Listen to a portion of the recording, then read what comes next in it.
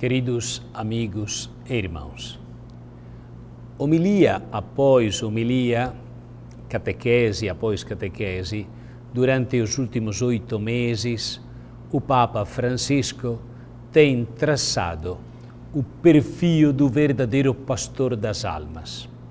Nestes últimos dias falou do sacramento da confissão, recordando que Jesus deu aos apóstolos o poder de perdoar os pecados. A Igreja, acrescentou o Papa, não é dona do poder das chaves, mas serva do ministério da misericórdia e se alegra toda vez que pode oferecer este dom divino.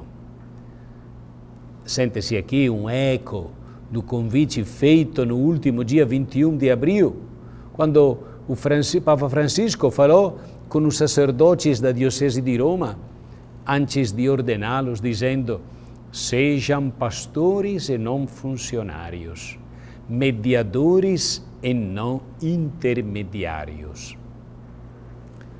Ao refletir sobre a figura do confessor, acrescentou em sua catequese: o perdão de Deus que nos é dado na igreja é transmitido através do ministério de um irmão nosso, o sacerdote, que também é um homem, que, como nós, necessita de misericórdia e que se torna realmente instrumento da misericórdia, oferecendo-nos o amor sem limites de Deus Pai.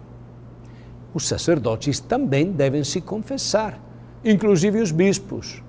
Todos os pecadores somos, inclusive o Papa que se confessa a cada 15 dias, porque o Papa também, ele disse, é um pecador o serviço que o sacerdote presta como ministro por parte de Deus para perdoar os pecados é muito delicado, continuou o Papa. É um serviço muito delicado e requer que seu coração esteja em paz, que o sacerdote tenha o coração em paz, que não maltrate os fiéis, mas que seja manso, benevolente misericordioso que saiba semear esperança nos corações e, sobretudo, que seja consciente de que o irmão ou a irmã que se aproxima do sacramento da reconciliação busca o perdão e o faz da mesma maneira que tantas pessoas se aproximavam de Jesus para que as curasse. O sacerdote que não tem esta disposição de ânimo é melhor, disse o Papa, que até até para Jesus não administre este sacramento. Os fiéis penitentes têm o dever, não, têm o direito. Nós temos o direito, todos os fiéis, dizia o Papa, de encontrar nos sacerdotes os servidores do perdão de Deus. Um sacerdote apaixonado, disse o Papa Francisco, no último dia 16 de setembro, durante um encontro com o clero romano, o sacerdote deve sempre se lembrar do primeiro amor, o de Jesus. Voltar a esta fidelidade que permanece sempre e que nos espera. Para mim, dizia o Papa, este é um ponto-chave de um sacerdote apaixonado que tenha a capacidade de voltar para a memória do primeiro amor. Uma igreja que perde a memória, uma igreja eletrônica, não tem vida. Há que ter cuidado com os sacerdotes rigorosos e laxistas, dizia o Papa. O sacerdote misericordioso afirmou: é o que diz a verdade, mas acrescenta: não fique espantado, o Deus bom nos espera caminhemos juntos. E devemos ter isto sempre presente: acompanhar, ser companheiro do caminho.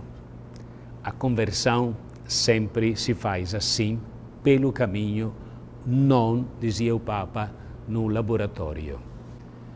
Durante a recente visita que o Papa fez a Assis, ao dirigir-se ao clero, ele pediu aos párocos que memorizassem não apenas os nomes de seus paroquianos, mas inclusive os de seus cachorros, dos animais domésticos. uma maneira para dizer que o pastor deve estar perto do seu rebanho. Isto é o que os peço, que sejam pastores com o cheiro das ovelhas, pastores em meio ao próprio rebanho e pescadores de homens, disse o Papa Francisco no dia 28 de março, durante a homilia da missa da Crismal.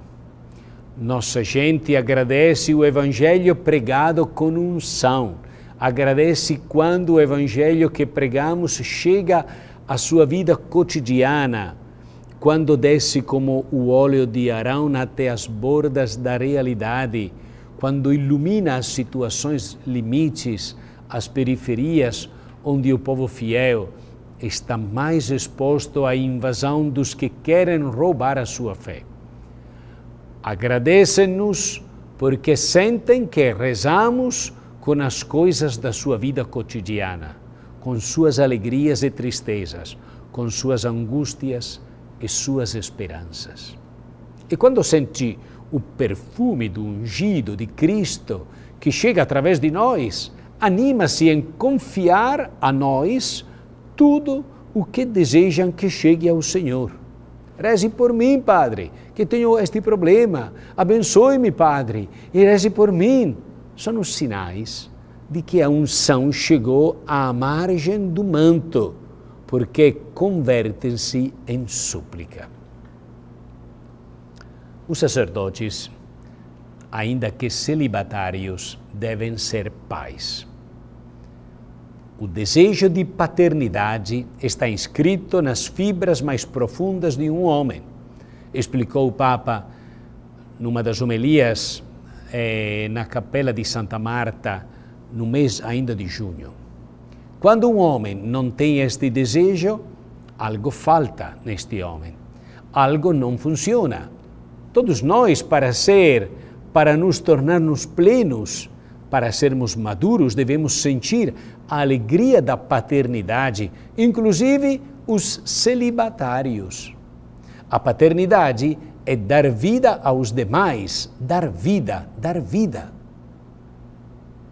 Para nós será a paternidade pastoral, a paternidade espiritual, mas é dar vida, tornarmos-nos pais.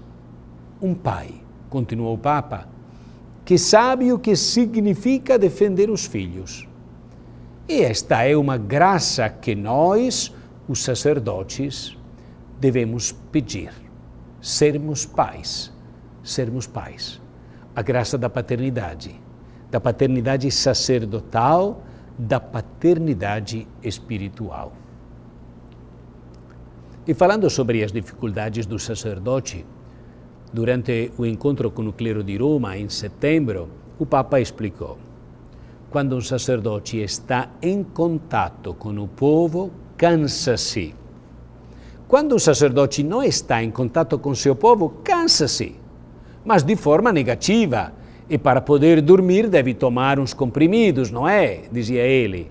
Ao contrário, aquele que está em contato com seu povo porque o povo verdadeiramente tem muitas exigências de Deus, esse se cansa de verdade, não é? E não necessita de comprimidos, disse o Papa. A proposta de um modelo de pastor que não crie nenhuma distância, que não viva separado, que não se considere o administrador dos bens da graça, que não tenha a preocupação de regular a fé das pessoas, mas sim de facilitá-la. Que não se ocupe exclusivamente das questões é, de modo eclesiástica e não se preocupe demasiadamente com sua imagem. Vive unido com Deus e, por este motivo, completamente dedicado aos serviços que foram encomendados pelos fiéis. Deriva desta proximidade, desta, deste compartilhar, a indicação sobre a sobriedade que o Papa pronunciou para os seminaristas e religiosos no começo de julho deste ano, quando ele disse mi dói quando vejo uma freira ou um sacerdote com um carro do último modelo. Não se pode ir com carros caros. O carro é necessário para fazer muitos trabalhos, mas queiram um simples. Se querem um bonito, pensem nas crianças que morrem de fome. Depois falou também para nós bispos, e disse como bispo deve ser pastor, que conhece suas ovelhas pelo nome, guia-as com proximidade, com ternura, com paciência, manifestando efetivamente a maternidade da Igreja e a misericórdia de Deus. É o verdadeiro pastor, explicou. Não tem a atitude do príncipe ou do mero funcionário que se preocupa principalmente pela disciplina, pelas regras, pelos mecanismos e a organização. E isto sempre leva a uma pastoral distante das pessoas, incapaz de favorecer e de obter o encontro com Cristo e o encontro com os irmãos. Há muito caminho a fazer, há uma grande conversão que deve acontecer em nós, bispos, padres, e os apelos do Papa estão aí exatamente provocando em nós esta conversão. Rezem, pois, pelos bispos, pelos padres, pela nossa conversão. E Deus abençoe a todos, em nome do Pai, do Filho e do Espírito Santo. Amém.